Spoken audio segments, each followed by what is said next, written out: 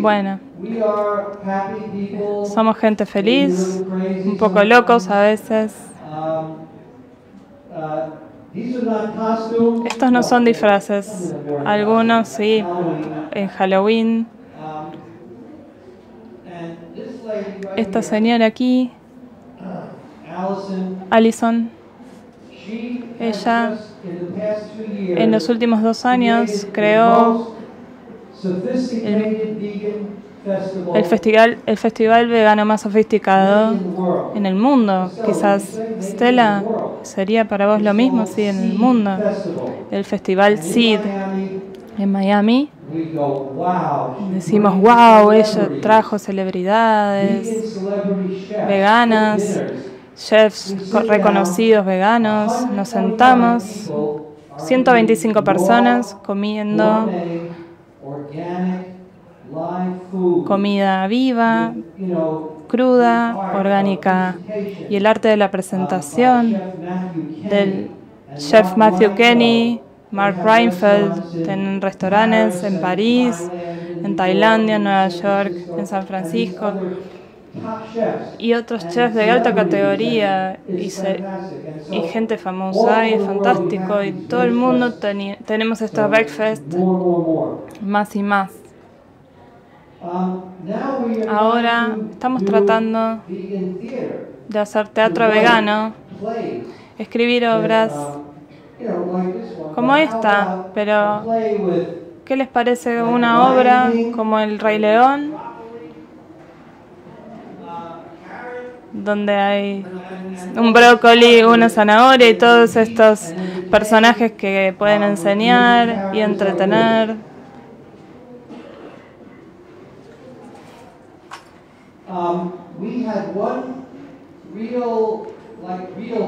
Tenemos un teatro real, una producción hasta ahora. Trajimos a Chester Gregory. Es, él es vegano eh, y él trabaja en Broadway. Es de lo mejor. Es nuestro primer artista vegano. Entonces, no quiero que todos se duerman por unos minutos. Quisiera cantar esta canción sobre mi viaje personal. Estudié con la doctora Ann Wigmore, la madre de wheatgrass, brotes de trigo y con la comida viva, alimentación viva. Yo escribí esto, pueden llegar a reconocer esta canción. Cuando yo era omnívoro, flora y fauna en mi plato, las criaturas lloraban, la tierra gemía. No me sentía muy bien. Comía sin control detrás de puertas cerradas. Un omnívoro inconsciente. Vegetariano o volácteo. Sin caras graciosas en mi plato aunque ansiaba secreciones animales, leche, huevos, mientras criaturas cautivas sufren. Hacía de mi vida un sufrimiento como un vegetariano. Luego, la conciencia vegana me puso en rol de herbívoro Así que la ética y compasión viven en el piso de mi cocina. Con calma puedo morar por dentro siendo un vegano ético. El camino alimentario de doctora Ann sobrepasa la miseria elementaria.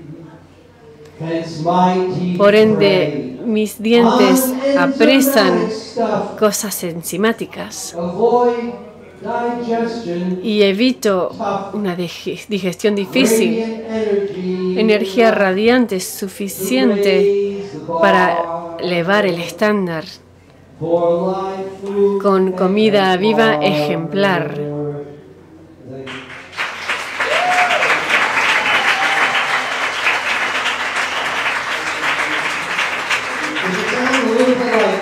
¿Suena un poquito como Elvis? Bueno. Ahora, la finalización es el epílogo. La escosfera resuena con dicha sin límites. Los sonidos de dientes rezando sobre cosas verdes, no cosas malas. La tentación de la serpiente alimentaria prevalece no en comida viva.